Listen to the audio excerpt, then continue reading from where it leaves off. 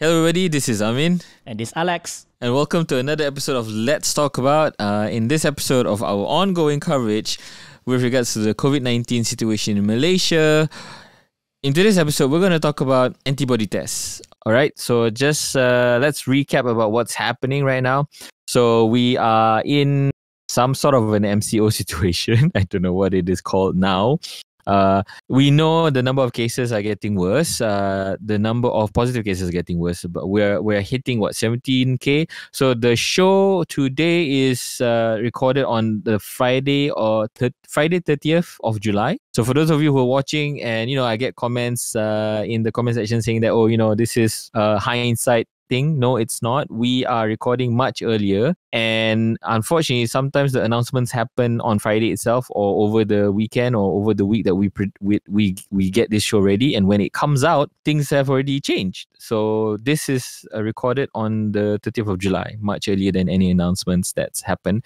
And it is as current as, as it can be with the information that we have on hand up to today. Okay. So the situation today, I don't have the COVID numbers today. They're not published yet, but we saw close to 18,000 yesterday. Uh, COVID numbers are increasing, um, but that's not something that we should look at uh, we've established that in our previous episodes to say that you know positive cases is not the number to look at now it is the number obviously the number of icu cases and the number of deaths yes there are there, those are worrying numbers but the important number to look at for us to return back to normal is uh, vaccination and we are on track. So we are on track to get 80% of the country's population vaccinated by the end of this year uh, and we are on track to get 100% of adults in klang valley vaccinated by the 1st of august. Um, with at least one dose yeah you're right. Um, now, there with the chase to get as many people vaccinated, we are looking at what 200, 400,000 people vaccinated a day. Um, there is inevitably this thing that's going on, right? Uh, people are getting ghost jabs, and that's what we've been talking about in the previous episode. And thankfully, you know, the government and KJ, who is looking after the vaccination program, is paying attention to this. And thankfully, they have um, said that they have changed or updated the SOP when people are getting vaccination. You go and get your vaccination where previously you cannot record yourself. Now you can. And uh, KJ also encouraged and announced that, you know, you should look at the needle that's going into your hand and make sure that uh, the you know the plunger is being pressed so that the vaccine actually does go into your body. It's funny because it's normalizing this thing this ghost jab thing. And it's weird because despite saying that we are still seeing a number of instances where people are still getting ghost jabs. Despite I think KJ saying in his announcement that this is not a lot and he wants to like get rid of this. Looking at people getting their jabs and recording yourself being injected is not the solution to the problem. It is a medicine, but it is not a solution to the cause of the problem, which is like, why are people doing this? We don't know. We are thinking that it could be because they are anti vaxxers. It's definitely not because they're fatigued, but something is going on. So, why am I talking about this? It's because there is a worry. There is a genuine worry among people whether they actually got their jabs or not. So, before KJ made the announcement, there's already been millions of people getting their vaccination. Before the ghost jab issue was uh, uh, detected, there were already millions of people getting their vaccination. Now people are wondering whether the whether they actually did get vaccination. Those who got vaccination but didn't get any side effects those who got vaccination and didn't look and didn't record. A lot of these people are now concerned. Did I actually get the vaccination? Now, while there is no way to know, uh, we are seeing now a trend in in the market and on social media. People are saying, uh, we see pharmacies and we see people are recommending, oh, okay, to find out whether or not you should, whether or not you did get a vaccine jab, why not take an antibody test? And sparks fly and, fires erupt, and everybody's now saying, "Okay, we should take a, a, a antibody, test. test." Even even the what uh, the uh, the police, the chief of police was it Alex? Yeah, the the director for the CID at Bukit Aman. He said uh-huh. that uh, because following incident, right, he asked people to to make a police report. If you believe that you got a ghost jab, please make a police report. Mm. And he also added that, oh, if you receive your two doses, he also recommends people to take a COVID 19 um, antibody test 30 days after completing their vaccination. But of course, later on, the next day, the police IGP, the bigger boss, he, he said that he regretted that statement because the police has no jurisdiction to recommend such tests. But like you said, it's everywhere. You can see on Facebook, right? I'm getting a lot of ads from PathLab, from uh, I think Care Center, a lot of uh, labs are offering this uh, COVID 19 antibody test for like 120 ringgit. So the question is, is this reliable? And what can it do? Yeah, I guess the other question is whether you should get an antibody test or not before you even consider whether it's reliable or not. And then just to add to the CID, I think what triggered it was before um uh Adham Baba, the Minister of Health, right? He announced that oh, you know, for those who got ghost jabs, uh we will we will you know we will give you another appointment slot so that you can get a proper jab. And he didn't answer the question of how do you know whether you got ghost jabs or not? How do you prove it? Then inev- inevitably the the the hunt went for a method to find uh, a method to to know whether you gotten a jab or not. So in theory, the method is this: you get an antibody test, right? And, and the antibody test could then kind of indicate whether you've gotten the jab or not, or whether you've been infected by COVID 19 or not. Now, the question is, like Alex mentioned, whether this test is reliable, should you get it, and does it actually do what you think it does, which is prove that you've gotten a vaccine jab or not, right? So we've I think we've published a, like a really lengthy article uh, address and uh, asking this question on soyacincau.com. But I would like to discuss about it further in this episode, just to see, you know, first to to hear to to discuss number number one. And number two is to get your opinion right? Our viewers and listeners. Uh, again we, we've been getting a lot of comments a lot of feedback and a lot of discussion going on in the comment section on our youtube uh, channel. And i really like that and i really want to know what you guys think Okay, but before that, I want to go to Alex. All right, so what is the TLDR on the antibody situation? So basically, the COVID 19 antibody test, right, uh, as you can see for a lot of labs, the way they advertise is that how do you know whether your immune system is working towards the COVID 19 vaccination? So they say that this test is to determine the level of antibodies or COVID 19 antibodies in your body. And they also put a disclaimer that very clear that vaccines don't form the antibodies because the antibodies are actually tr- uh, as a re- uh, result of the immune response after getting the vaccination. So when you get the vaccine, so it will trigger immune response and your body will actually generate the antibody. So just to clear that misconception, so the vaccine doesn't come from the jab. You're not injecting antibodies to your, to your body. It's The antibody doesn't come from the vaccine jab, you mean? Yes, correct. Mm-hmm. Yeah, so it all depends on immune system. So it varies from one person to the other person. And there's there are cases whereby people got injected with vaccines, but there's no antibody because your immune system is not working. So it's a lot of possibilities. Wow. And also the level of, antibodies varies from one person to person because, like I said, it depends on the antibodies. So when you get this test, right, it's not, you don't expect like, did I get injection? Yes, no. It's not a clear answer. You just get like a reading of the how much antibodies you have in your in your in your body. But hmm. they get then again, a lot of uh, health medical experts they chime into this topic. Like, is it hmm. necessary for you to get this kind of test hmm. to find out whether you've gotten a ghost jab or not? And most of them has said no. And then I think uh, uh, a week back, Dr. Ghost Azam, who's actually the advisor for MOSTI, he said that antibody tests are not recommended at the moment, even by the FDA and the CDC, to check whether your vaccines are working. And if you look at FDA's website, it says that you know um, these tests are currently authorized to test whether a person you know has a previous history of, of COVID before. But to determine whether they have protection against COVID, that's still being researched at the moment. So Dr. Ghost Azam said that um, if you want to take the test, it's actually best left for research use only because he said the people should not rush out and get the test just to find out whether they got the right protection or not because it's too early to tell right now. And he also elaborate that the, the test, right, is very specific because he mentioned a few examples like um, if let's say it's, it's meant to detect spike proteins, some only detects like a nutri- uh, nucleo uh, capsid protein, so it's different. What, So what's that? What is a nu- nucleo? I know what a spike protein is. That is the one that that atta- uh, attaches to our our cells and get inside our our cells and then starts uh, allowing the virus to reproduce and, and create more of themselves, right? So what is this? Uh, what is it called again? Nucleocapsid, whatever it is. nucleocapsid protein. Yeah. So he's he explained that okay, those okay those kids that target nucleo uh, nucleocapsid, we not detect antibody response from vaccines that target the spike protein like Pfizer and AstraZeneca. So in the flip side, if you take the other test that's meant for spike protein and the sensitivity is low, you mm. don't detect inactivated vaccines like Sinovac. So it's not like a one size fit all. So it must be very specific. And most of these tests, if you see it in the market, they didn't really advertise clearly what kind of test it does. Mm. Uh, like I saw on PathLab, it says that it can support all vaccines, but it's not very clear what kind of test they're doing. So it's mm. quite vague. So, so there are two different types of tests. One is the one that looks at the nucleocapsid Yep. thing, whatever that is, protein, Yeah. and the other one looks for the spike protein. Basically, they are looking for indicators of the virus inside your body. And there are also uh, uh, multiple types of uh, vaccines. One uses the inactivated virus. One is the what RNA that uses like a, a, a target genetic spike protein. A, gene- a genetic code of the virus and to trick your body to say that oh the virus is in your body and you need to generate an immune response To Either way- check the spike protein. Yeah.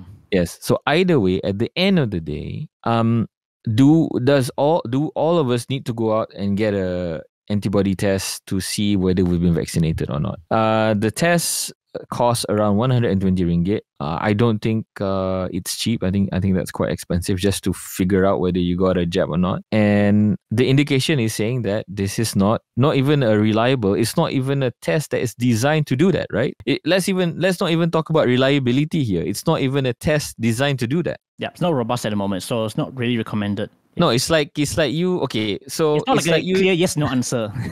it, it's like you testing your tire pressure by kicking it. You know, it's like you kick it, and it's like, oh, I think enough tire pressure. But it's not. I mean, kicking your tire is not a test designed to determine whether there is enough pressure in your tire or not. So taking this test is not a test to determine whether you have been vaccinated or not. Yeah. Then I guess my Yeah. question is my question is why is this test around? I guess it's, uh, some people are saying that uh, these health labs are, you know, they're just taking advantage of the situation because there's a lot of concern about uh, ghost jabs. Mm. So they take advantage. Okay, you know what? This is a good time for us to promote this test because people want to find out. Let's give them what they want. But the Mm. point is that it doesn't give them the, the, the straight answer because at the end of the day, you take this test, right? You get a report with a number. But what does the number really mean? Mm. If you have low number, does it mean that you got ghost jab or not? Mm. It's not clear. What is this number that you're talking about? It's like the antibody levels. So mm-hmm. that's what it's saying. So it depends on the test. Because I haven't seen the test result. I haven't taken one mm-hmm. myself. Mm-hmm. Uh, I don't know whether we should take one or not. But as we said, I don't think it's necessary because we're going to get a number, and who's going to decipher that? So mm. if you get a get a if you do get a test, I guess the best person to to determine is to talk to your doctor, I guess, to find out what does it really mean. Mm. Because like we said earlier, right, um, the vaccine is not directly from sorry, the antibody is not directly from the vaccine. It's based on the immune response, and mm. each person's immune response is different. So someone might have higher number, some could be lower number, but does that what does that number actually mean? If you have a low number, does it mean that you are not protected? You could be protected because I believe there's a lot of factors that need to be accounted for to determine whether you're protected from COVID nineteen or not. Hmm. And then I'm not sure whether the number of antibody is a determinant factor of whether you're immune or not. It's not like okay, if you are, if the number is 100, then you're immune, or if Yep. if the number is 50, then you're not immune because it depends on, like you said, right? It depends on the person, right? So if a person is healthy, maybe the antibody number is low, or if the person is not healthy, maybe the antibody number is high. We don't know, and if that person i- has a high metabolic rate or a low metabolic rate, a- all this can differ. So this is not a, this is not a reliable test. Um. But why why why does this test exist in the first place? I mean, if it's not reliable, it's not if it's not reliable, right? Why does it even exist? Why who who in their right mind would create something that doesn't work and sell it? I got a feeling this test was here. It was, it's not just newly introduced now. I think it's been around for quite a while. I think it's to detect whether you have history of COVID nineteen. Mm. That's that's that's the intended purposes. But mm. somehow I think it can be repurposed to find out whether you have antibody levels following vaccination. Mm. So I not guess re- uh, yeah. Go So I guess it's like like they rehash the product for another intention. it's not repurposed lah, I guess. It's like uh, oh we can interpret this or I don't, I don't know what is the intent of all these pharmacists to do this. Obviously it's for marketing and all that. I'm not sure whether they, they I'm not sure whether they'll go like you know what? People will find out and they will they will stop taking the test. I guess uh, as long as people are selling supplements and as long as people are buying supplements there is a market for this. I'm not saying that this is a supplement but the the psychology of purchasing something like this or taking a test that is something like this is similar to a supplement. Like, you know, people sometimes forego getting medicine and they prefer getting supplements just because they believe in wanting to be organic or wanting to have an alternative alternative uh, way to treat whatever ailment that they are facing. And this is this is one. The difference between that and this is that with supplements you have options. You can buy from different different you can buy different supplements. You can I mean I'm not saying that they work, but there are options out there and you can choose, right? for the antibody test, while there are different brands and while you, you can choose, it's easy to get people sucked into the hype because it's like, hey, you know what? There is no other way right now. And something is better than nothing, you know?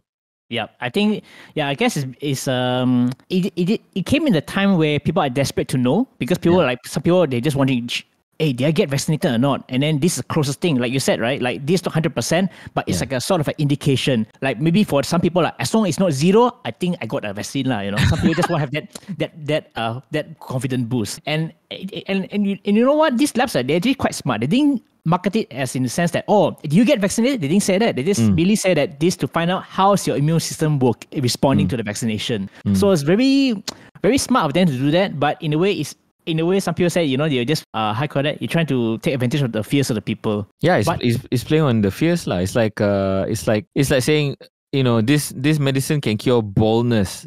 You can't say that in the supplementary market, in the supplements market. Yes. You can't say that a cure for baldness. You can't. But yeah. are you losing your hair? You know, yeah, correct.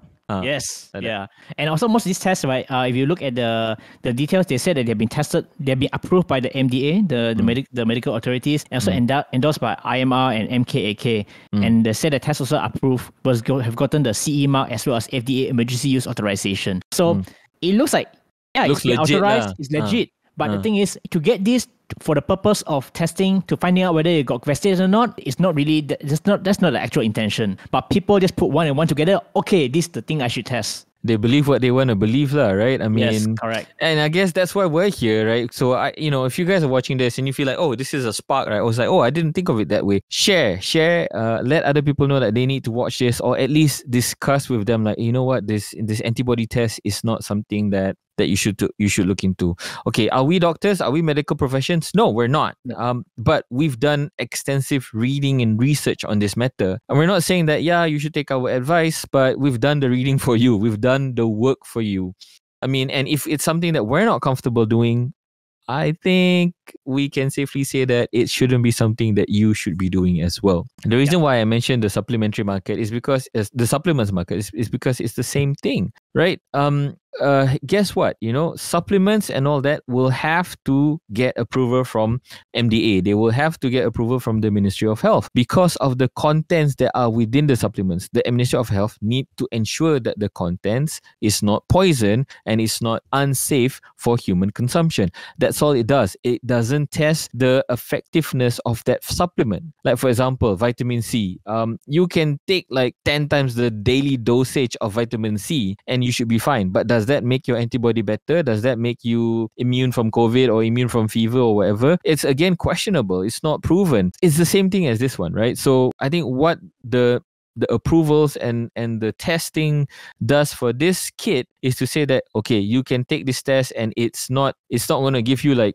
weird results uh it's not going to make you feel sick it's not going to get you any side effects and that's it and also going to uh, because this article published by the Malay Mail, mm. so they quote this uh, Dr. Khoo uh, Yoong Khean. He's the healthcare administrator in Singapore, and he's also he's also managing director, uh, managing editor of the Malaysian Medical Gazette. Mm. He said that the body produces many antibodies at a given time. Mm. In the context of COVID nineteen, the main antibodies produced are against the nucleocapsid proteins and mm. spike protein. In a natural COVID nineteen infection, both um, nucleocapsid and spike protein antibodies are produced. But in a vaccine, like mostly R, R sorry, mRNA immune mm. response, only the S antibodies will be produced. So he said that therefore, if the tests are in the market, do not specify what type of antibodies it tests, or it doesn't have someone with the knowledge to interpret correctly, it might give a false uh, interpretation. Mm. And also, like what uh, Dr. Uh, Ghosh Azam said, that you know the function of specific antibodies that can neutralize the virus is more important than the level of the total antibodies. So mm. the neutralizing effect is not readily deciphered by a serology test at the moment, and there's no more research are required for this at the moment for this mm. for this kind of test. Yeah, that's what like like how we said, right? I mean, it doesn't mean that if I get a hundred, I'm I'm fully immune, or if I get fifty, I'm fifty percent immune. It's not. It's not like it's, exam like cemerlang, yeah. It's not yeah, clear as that. yeah, it's like uh, okay, you you should think of antibodies like a tool you have in your toolbox. It doesn't mean that if you have 10 screwdrivers, it's better than one screwdriver, right? Yeah. If you have like 10 different types of screwdriver, then it's better than one screwdriver. You get what I'm saying? You get the difference? I hope you guys I hope you guys get the difference. It's like that lah. It's like it's like you have like different types of screwdrivers to be used for different types of screws, like a Phillips head, a Torx head, a Allen head, whatever it is, right? So antibody is the same thing. You need to have that one type of antibody for that one type of virus or that one range of virus. So it's the same thing because all these antibodies they can replicate. Uh, the the antibody test is to test how strong. Okay, sorry, not to say that Level. Mm, what I'm trying to say is like the the the capability of your body to generate uh, the number of a sp- specific antibody is dependent on your health. And again on your health condition on your body's genetics. It's not dependent on this test. So so bottom line is so to answer the question right? So i think we put out what three question number one is whether you should take this test whether this test is reliable. And yeah i think were there any other questions? I think that was pretty much it. So the bottom line is, um, if you feel that you've gotten a ghost jab until today, there is actually until today, the 30th of July, 2021, there is no way to to know. Unfortunately, I mean Unless you record truth. yourself. Yeah. Yeah, that is the truth. What should you go out and take this test? I mean, if it makes you feel good, uh, because you know, feeling good f- about yourself also helps boost your immune system. what? yeah, it does, dude. I mean, if you go out and exercise, eh, that helps True. boost your immune system. If you feel good and not depressed, Yeah, makes That you makes- sleep better at night. yeah, eh, that also boosts your immune system because it's all about metabolism and, and stuff like that, right?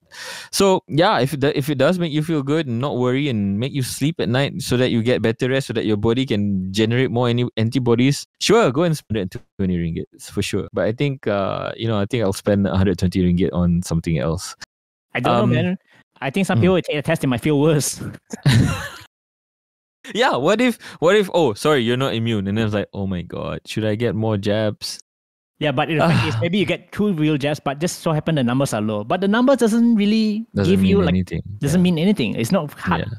It's not definitive that you know you're protected or not. Because So, uh, some people some people are naturally immune, right? So if some people are naturally immune, the number of antibodies generated is lower because they are already immune. That means their body doesn't have to fight the virus because the body is used to the virus, right? Some people needs to fight the virus. Then the the antibody is there to fight the virus. So I don't know. Um, then why this? Why did this test exist? Uh, I think like you mentioned, Alex, the test exists to detect whether you've had been COVID. In fact, uh, had been infected by COVID or not. And uh, based on the FDA, based on the doctors that we've read, based on the reports that we've seen, antibody test is only effective to show that your body has been exposed to the virus itself. And whether you have a count of 100 or whatever arbitrary number that is presented in the in the in the results of the test, it doesn't mean anything. Yeah.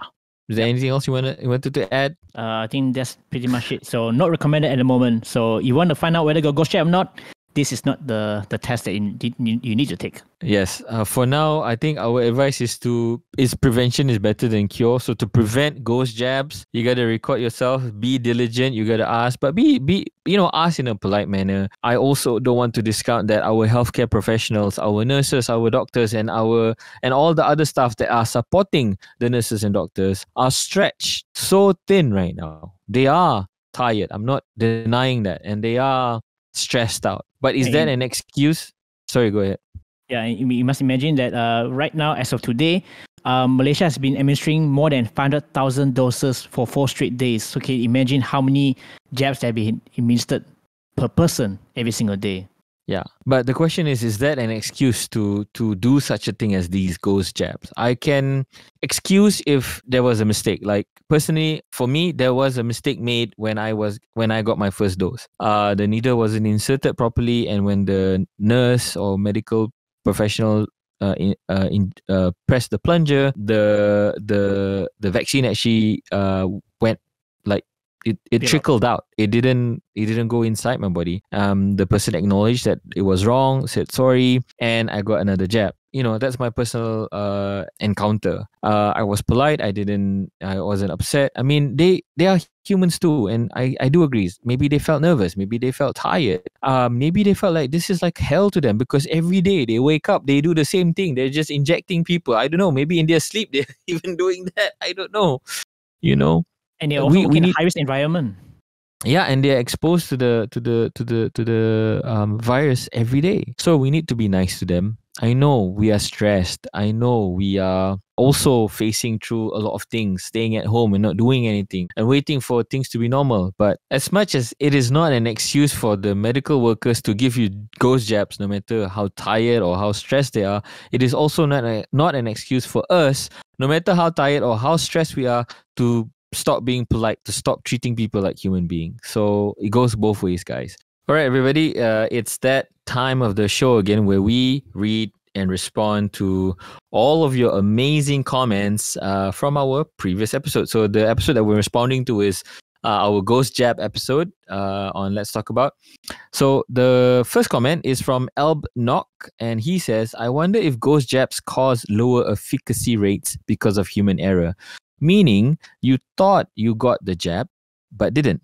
Got COVID 19 and contributed to the low efficacy rate. There are videos in other countries where the language spoken is not from here who also got ghost jabs. So you have to wonder if that ends up as statistics. Also, after jabs, you would get a batch number and vaccine number. So if a third party needed to audit, it should be possible. There should not be anybody with the same vaccine number. At the end of each day, there should be a stock check. So if people people got empty syringes, there there should be excess vaccines than the number of people who checked in. I would attribute the nurse in the drive-through as having fatigue from standing out in the sun and rain all day. We should not have the same issue in indoor PPVs. All right, what do you think, Alex? I think here's a point. Uh, let's say you're supposed to get two doses, but only get one dose. Obviously, you're not getting the full protection from the vaccine. So if you mm. do get get affected by COVID, yeah, that would possibly contribute to the low efficacy rate. So it is possible. Mm.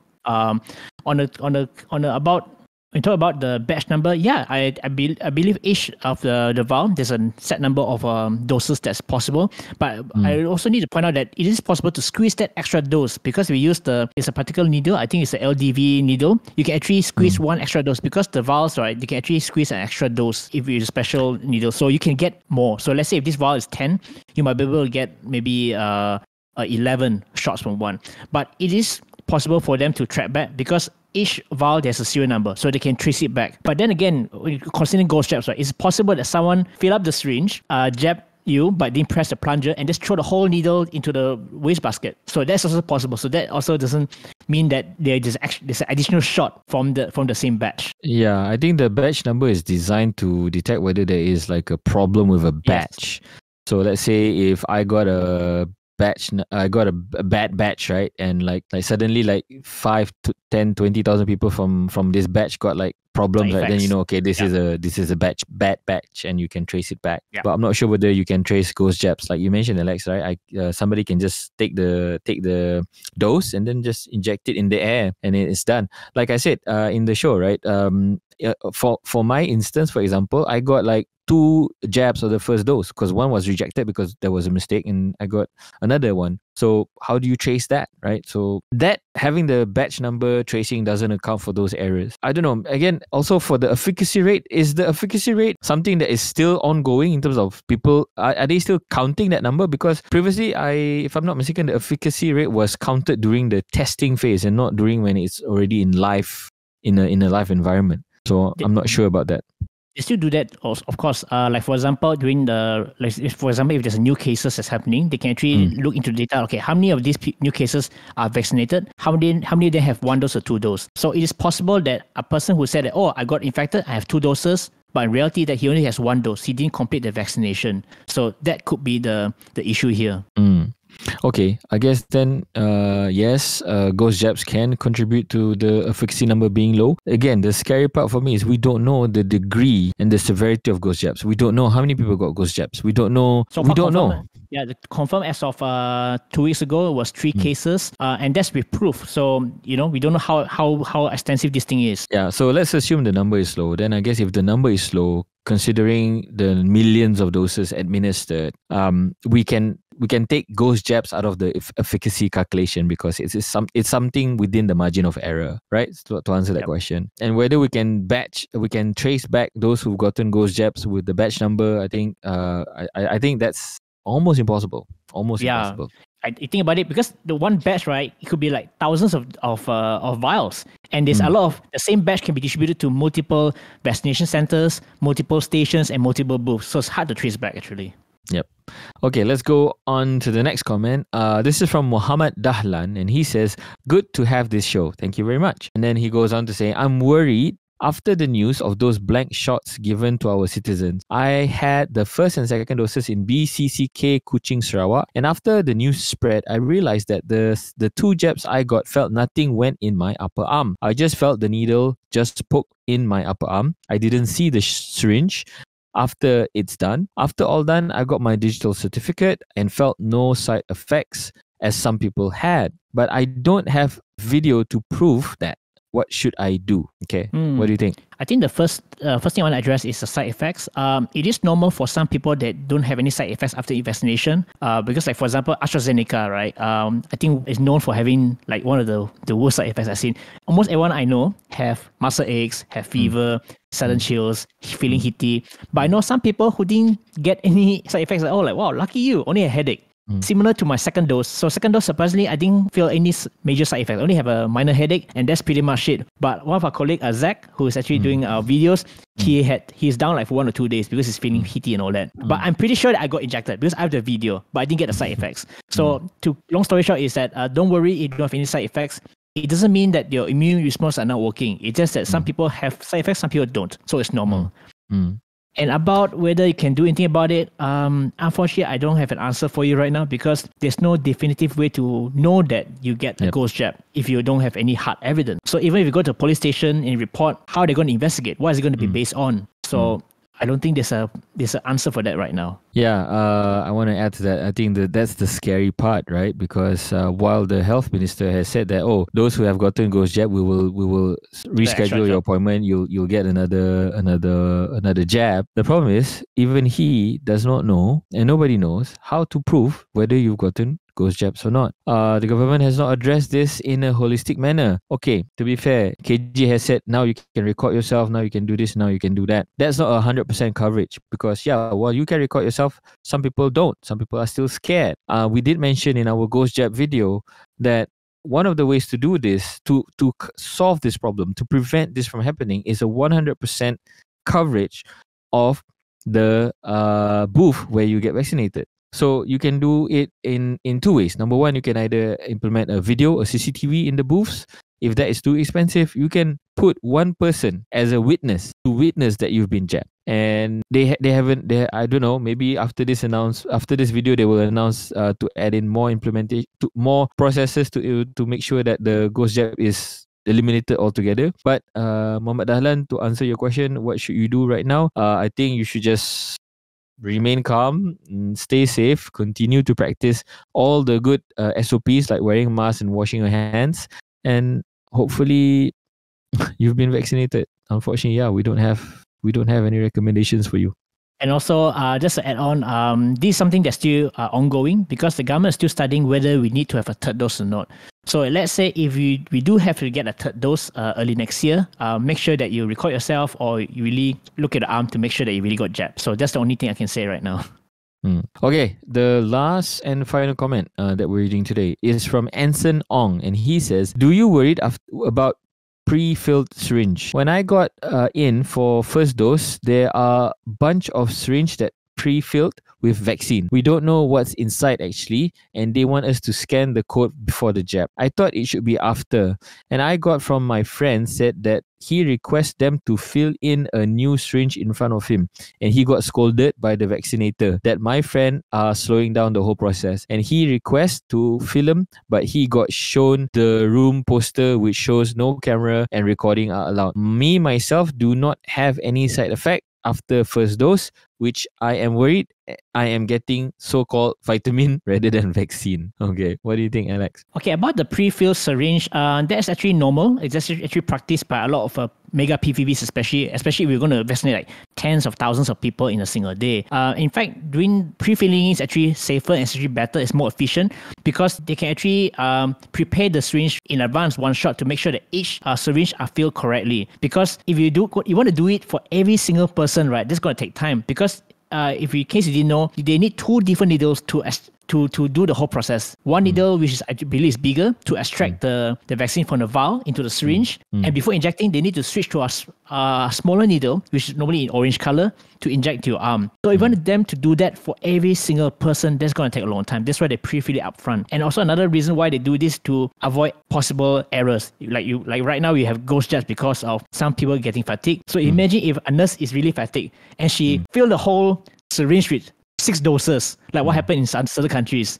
And mm. that could be even even worse, right? You can mm. get overdose of vaccines. Yeah. So to answer that question is there's nothing wrong with pre-filled syringes. Um, it's fine. Uh, I think like what you said, right? Um, your your friend is slowing down the process. Yeah, because you want them to pull a fresh vaccine from a vial, this is gonna take time, mm. and that's the reason why they pre-fill it to make it faster. Mm. And but also another question is when when did this happen? Because uh, KJ has really announced that everyone can record in the vaccination booth uh, mm. since uh, I think middle of, of July onwards. Mm. So like for me, right, previously uh, there wasn't this SOP, but I, nice, I asked the vaccinator nicely, uh, can I record myself? The person said, sure. Because I told the person that I won't record the, the person's face, I just want to record myself. They're fine with it. So mm. uh, I don't know about when it happened, but from today onwards, sorry, from last week onwards, you should be able to record yourself, no issues. Yeah, and uh, just to add, I think uh, this is what the Ghost Jabs is doing to people people are becoming paranoid. They're becoming scared. They're becoming uncertain and insecure. For all intents and purposes uh all the recordings of ghost jabs that we've seen show either a needle full filled with the vaccine that's not being injected or just an empty needle. Uh i think to think that people uh, the health professionals are putting something else in the uh, syringes and injecting you with something else is beyond the scope of what this ghost jab problem is. So I I personally think that that is not even a problem right now mm, because that involves a whole other level of conspiracy and and uh, coordination um, that involves more than one people. So I I think that's not the concern. So you shouldn't be worried if you've gotten the jab and you feel that uh, the syringe, uh, the plunger was pressed and you feel something going into your body, I think 99% it is the vaccine. So that's not something you should worry about. Um, yes, I agree. Requesting for, I, I, mean, we shouldn't, like I said in my in the show, right? We shouldn't. We, we should also acknowledge that these people are tired. We shouldn't request for things beyond what they are doing already. If they are doing what they're doing to speed up the process, because they are doing their responsibility to get as many people vaccinated as possible. Let's just cooperate with that. And yeah. if and if you're record, if you are getting a vaccination after this show, uh, after the 30th of July uh, or mid of July, there shouldn't be a problem because the SOP has been revised device to allow you to record yourself being vaccinated. All right, uh, I think that's pretty much it. So, bottom line, the too long didn't read portion of this talk today is don't go out and waste 120 ringgit to get a antibody test. It's not required, no matter what everybody say. Okay, again, this show is uh, done on the 30th of July. I don't know whether tomorrow suddenly, you know, Dr. Hisham says, yes, everybody go get a go get go get an antibody test. All right, guys. So uh, I guess that's pretty much it. I guess uh, that's the cue for me to remind you we are also available on podcast. So if you like listening to the show instead of watching it, just search for Let's Talk About SoyaCincau and we're available on all of your favorite podcast platforms. Uh, if you do, if you are listening to us on podcast, please do give us a five star rating if you like the show because that uh, exposes the show to more and more people. For those of you who are watching us on YouTube, uh, do give us a thumbs up if the show is informative and helpful for you guys. Uh, don't forget to subscribe to the channel if you haven't already. And as always, I invite you to join the discussion.